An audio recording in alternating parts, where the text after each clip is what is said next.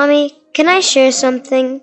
But promise you won't get upset. Of course. Um, I'm not sure I really believe in electricity. Why, my love? Well, where is he? Electricity is the source and the life of our lives. He's beyond us and he's also within us. But I don't feel him in my life. Honey, he isn't in your life. He is your life and my life and the life of all, power of all powers. Electricity is lighting, heating, cooling. You mean electricity's all of us put together? Brilliant question. No, he's not the sum total of all powers. He is one, and we are one with him, a part of him.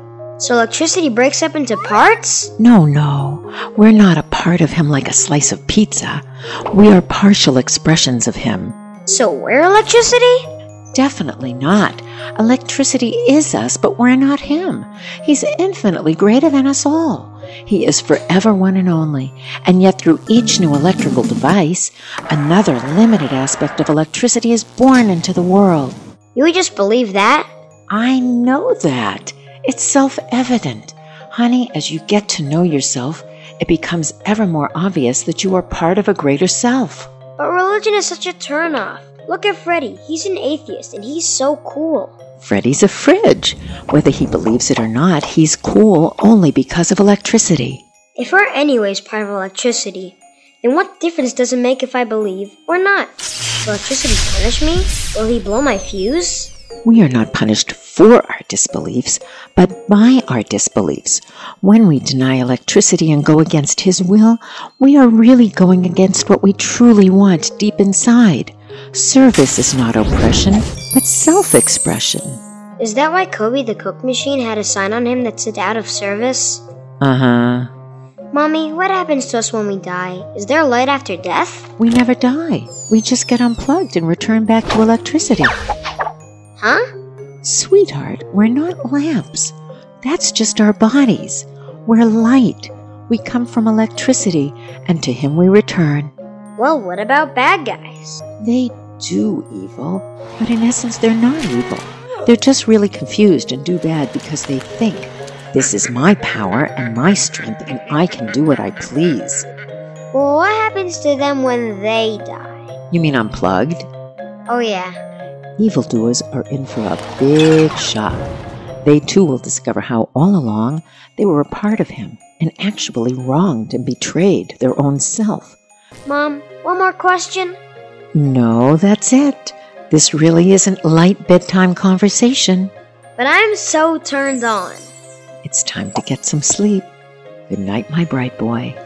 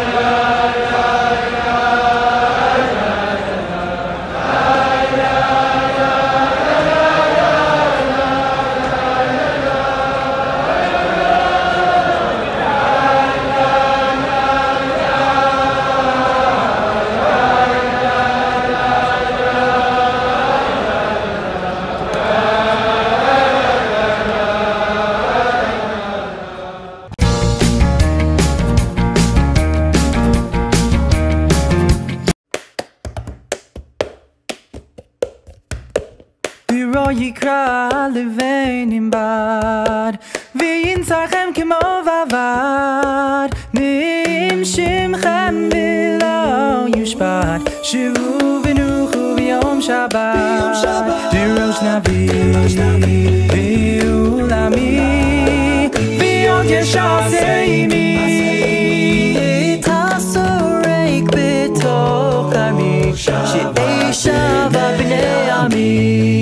դյուղ բուրա, բետ հող բացած,